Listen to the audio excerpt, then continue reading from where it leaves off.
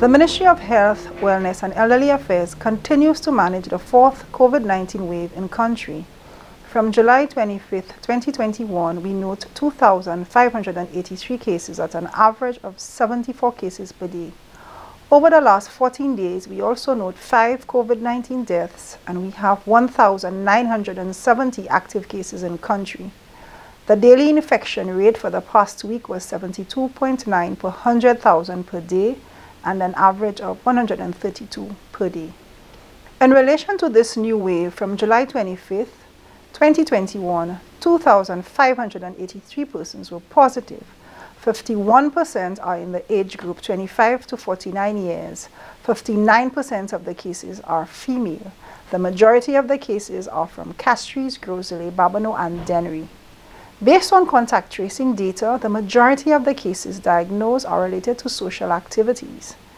To date, from the positive cases diagnosed in country, less than 2% have been fully vaccinated.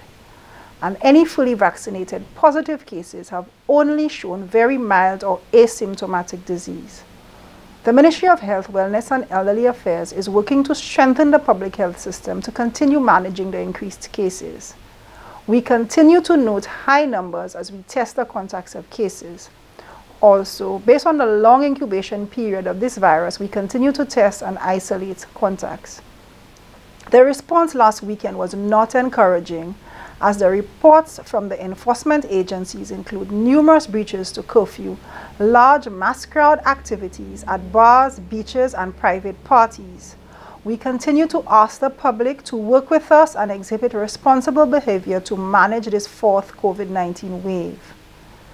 The past week, the Ministry of Health and Wellness has continued collaboration with the Minibus Association. These meetings were aimed at discussing and strengthening collaborations and efforts in order to reduce the COVID-19 risk and to manage the spike in cases. We continue to note positive cases related to this sector. We advise the minibus drivers to carry 10 or less passengers per load and that everyone keeps their masks on during the journey. Also, the regular sanitation after every trip. It is important that the transmission risk be minimized to all who use this valuable service. At present, we have available both the Pfizer and the AstraZeneca vaccine free of charge in country at the various wellness centers. Vaccination remains the most important public health measure in managing infectious diseases. These vaccines have been proven to be safe and, and effective in protecting persons from developing COVID-19, its severe forms, complications, hospitalizations, and death. We continue to urge the public to access the various sites to get immunized at the soonest and encourage your family and friends to get immunized so we can all be protected. We continue to advise the public to remain vigilant as increased transmission and risk of the variants of concerns present. Let us adhere to the protocols that are put in place to keep us safe. These include regular hand washing, the use of the face mask in public places, avoiding crowds and persons with respiratory symptoms, and keeping frequently touched surfaces clean.